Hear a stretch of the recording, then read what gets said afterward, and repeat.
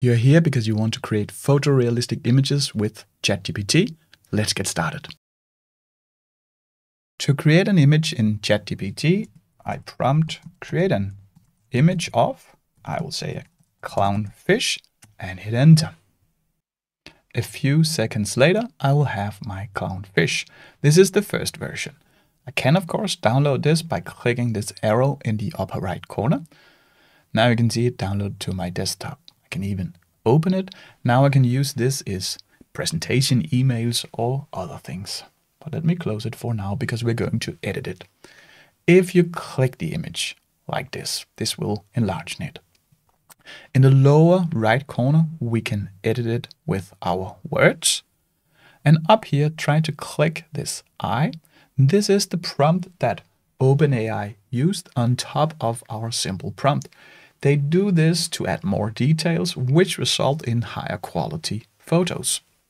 So let us just click copy here. We have this prompt in our clipboard. We will use it in a little while. Similarly, I can download the image from in here, but if I click this select tool, now I can select things in the image. I can make this circle smaller or larger, but this is fine. Let's say I want to add another fish. So down here, I want to add a baby clownfish. I mark this with my mouse, and now over here, I can prompt this part of the image. So here I say add a baby clownfish and hit enter. There you go. It's that easy to edit your images. Now let's go out. So I'll click this close here and then we will start a new conversation. Because now I'll say Control V to paste in the prompt that OpenAI used before. Then you can see a vibrant clownfish swimming among colorful coral reefs. And let's also add a giant white shark and a giant white shark.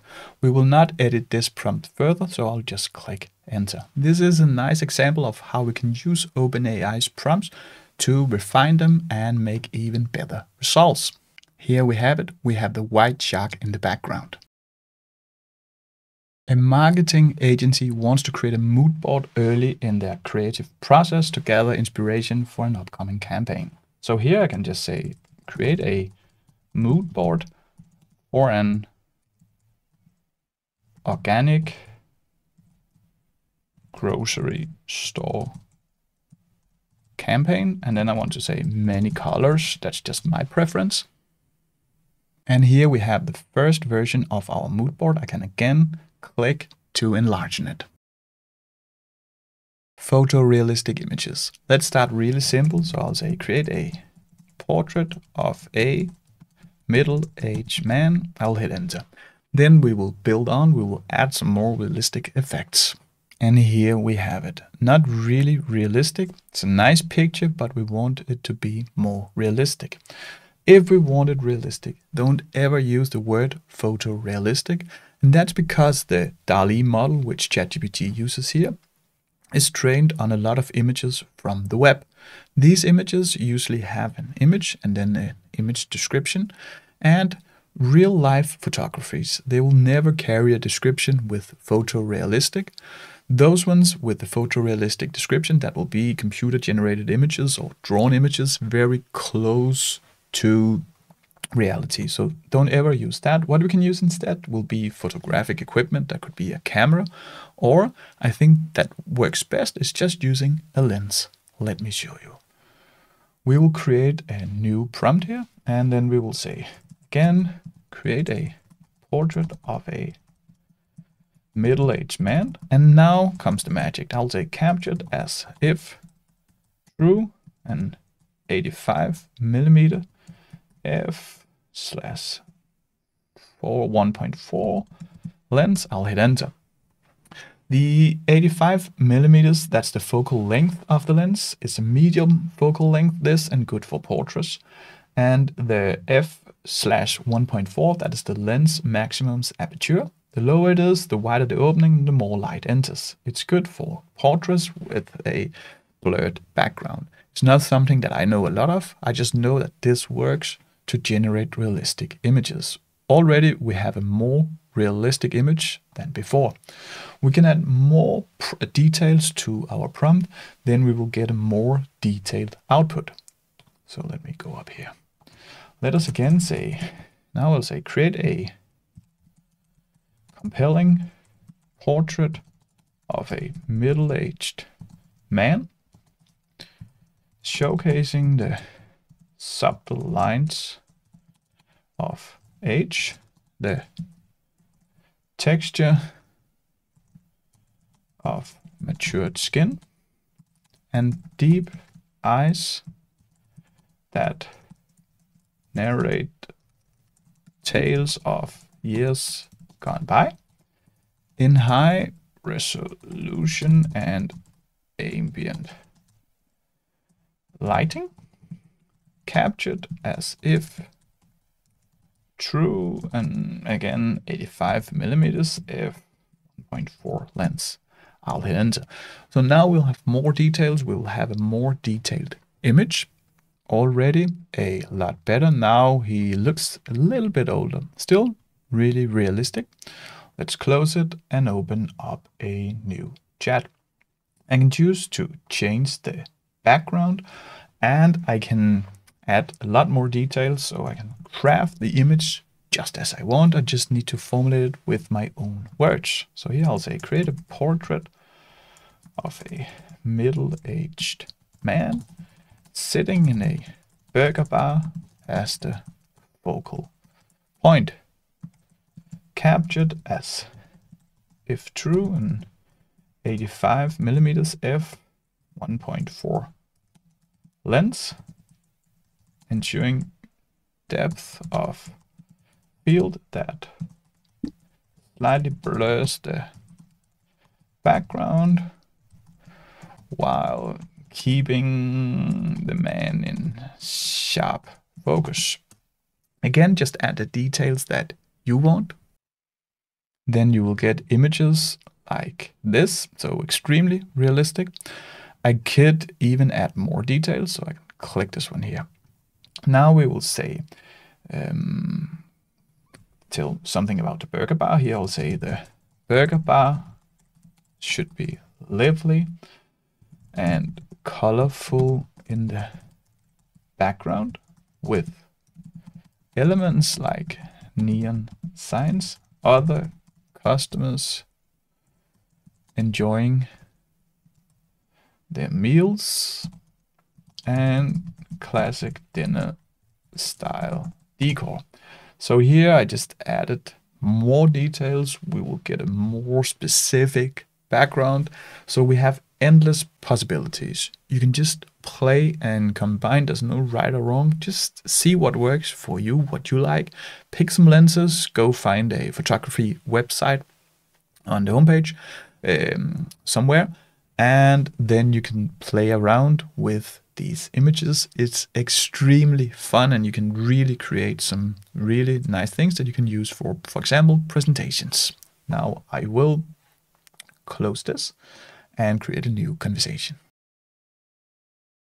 We can also create landscapes. For example, create an image of a tranquil forest scene with a reflection in a calm body of water. We can add some photographic equipment again, captured as if through a 70 millimeters f.16 lens. Hit enter, then new landscape image will be created, like here. Really nice. Let's close it and open up a new conversation. When we don't specify a format, most images are in a squared format that is 1024 times 1024, we can easily change that. Here I'll just say create an image of the exterior view of a modern corporate office building aspect ratio 16.9 that will see it's very wide compared to height. We can also say 9.16 if we wanted that. Captured as if true a 70 millimeters f16 lens, hit enter, then we will have a nice white image. Here you have that. So this one could be used for a homepage. Now let's go create a new chat.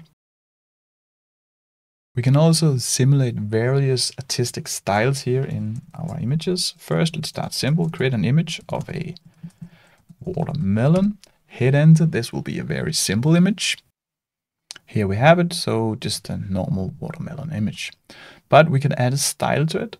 So I can say, for example, inspired by Impressionism. Click send again. Then our image will be styled as Impressionism. Here we have it. Really, really nice. So now it looks like a real painting. Let's go close it and open up a new chat. It's not allowed to use artist names in the prompts, but we can hack this. For example, let's say create an image of a tiger. And then I can say take inspiration from Picasso when I send this. We will have a, I wasn't able to generate the image you requested, but if I go up here and edit, then I can say, please generate as closely to the prompt as you can without violating policy and then I'll click send. That's the way to do it. Now we have an image inspired by Picasso. Let's open up a new chat. We can enhance the images further by adding some photographic effects. Let's create a baseline image and then we will add the effects to that. So I'll say create an image of an Arctic fox captured as if true a 500 millimeters f slash 5.6 lens and hit enter. Here it is, a nice realistic image of an Arctic fox. The first photographic effect we will add is tilt shift that will blur the top and bottom. And I will just go up here to the initial prompt. Hover the mouse over, click the pencil, and here I will say tilt shift and click send. Then this updated image will be generated. Here we have it. You can see it's blurred in the top and bottom adds a little bit of movement to our image. We can also add the effect called autochrome that will look like it's from the 19th to 1930 um, year. We will just go up here, edit it, and here we will say, instead of tilt shift, we will say autochrome.